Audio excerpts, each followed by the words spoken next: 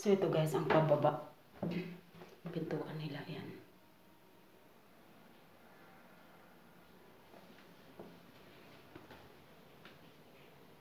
So ito yan ang unang kwarto. At yun ang pangalawang kwarto na pinang panikita ko sa inyo.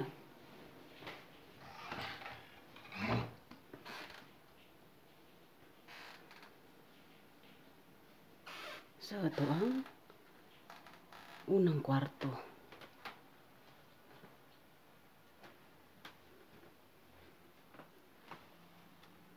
So, ayan naman ang doon naman ang sa baba. Sa labas.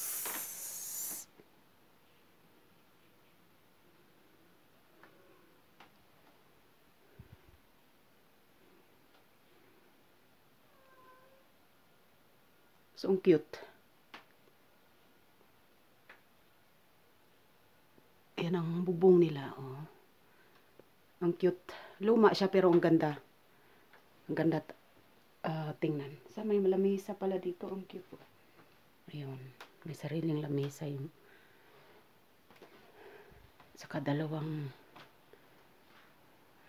bed, oh.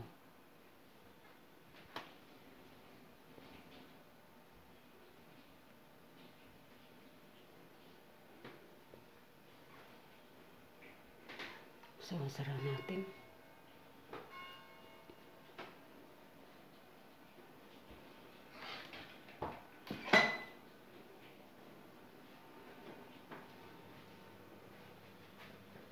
So, mamula doon sa baba. Ayan. Tapos papasok dito. Yan ang unang kwarto at pangalawang kwarto.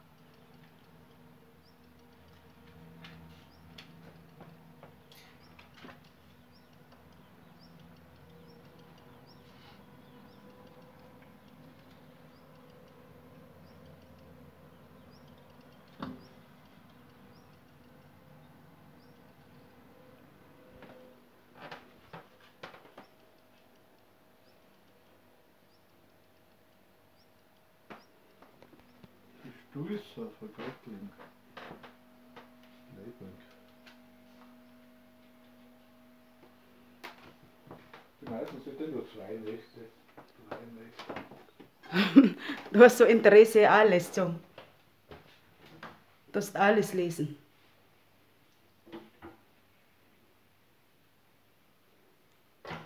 So, ito naman guys, ang kanilang um, oven kapag winter, ginagatungan ito ng kahoy. Yan, para ma mas mainit dito sa loob. Meron na silang central um, heater. Yan, ito yung yan, natungan ko lang ng ano. Yan ang central heater.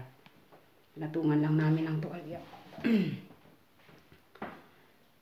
so, as you can see, yan kanina ang unang kwarto na pinakita ko sa inyo. Yan. So, bali ang binayaran namin dito guys sa tatlong gabi is 400 euro. Apat kami. Tapos tatlong gabi is 400 euro binayaran namin. Bahay lang. Itong tatlong gabi lang. Tapos um, ang pagkain namin siyempre extra. Ito ay nasa 400 kilometer from Vina City. Kasi ano ito eh. Um, pro- probinsya. Ang area na ito is para ito sa mga hikers kasi marami dito talaga buong mundo nag ah, pumupunta dito para mag-hiking lang sila. So yun ang mula doon sa first floor at ito ay second floor na kami. So yan ang pintuan namin. So kaya kung gusto niyo magbakasyon dito sa Austria, ito ay um, pinapakita ko sa inyo kung na magkaiba ang presyo ng Bina City at ang province.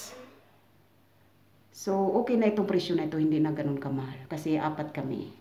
Tapos tatlong gabi, kami na maghanda ng aming almusal at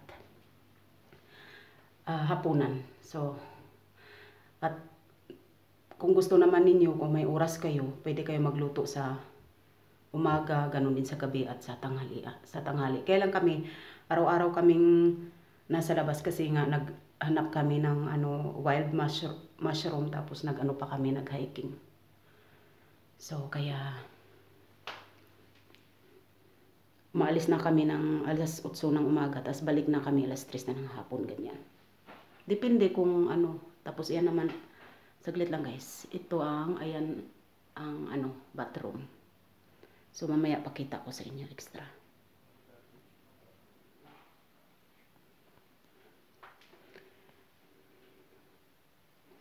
Thank you guys at maraming maraming salamat sa inyong pagsuporta sa aking small channel.